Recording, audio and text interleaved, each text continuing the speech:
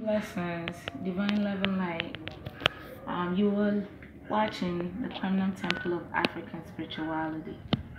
Um, today, I'd like to talk to you about a spiritual bath or a spiritual cleanse or an aura cleanse. Now, spiritual baths are very important and needs to be taken periodically. You have to do a spiritual bath if you are a psychic empath or someone who is highly sensitive or intuitive as well. And so um, people like that should take spiritual bath on a regular basis.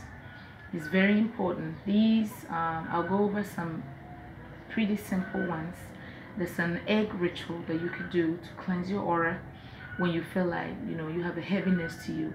And you can get a heaviness from everyone and everything. Now in the world that we're in, you know, people are open psychically they open. Therefore um, they get an attachment pretty easy okay from your job family members business transaction just even simply sitting on a bus or on a train or shaking hands with someone or sitting near someone's aura you can get an attachment that easily especially if you're psychic empath or someone who is highly sensitive. So three things you can do. You can do a periodic spiritual bath which you probably do about once every two weeks, or you can do an egg ritual or salt bath. And a salt bath is really simple.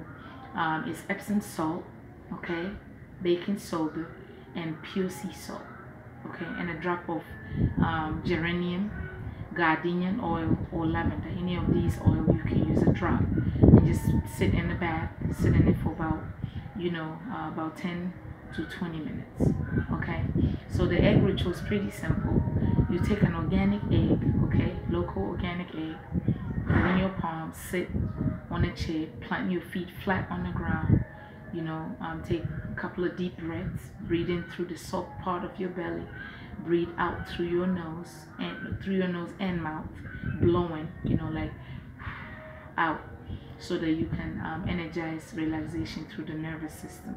And then you can just visualize you cleansing your aura with the egg. So you circle your head three times, circle your front three times, circle your arms three times, circle under your feet three times, and then take the egg in a plastic bag.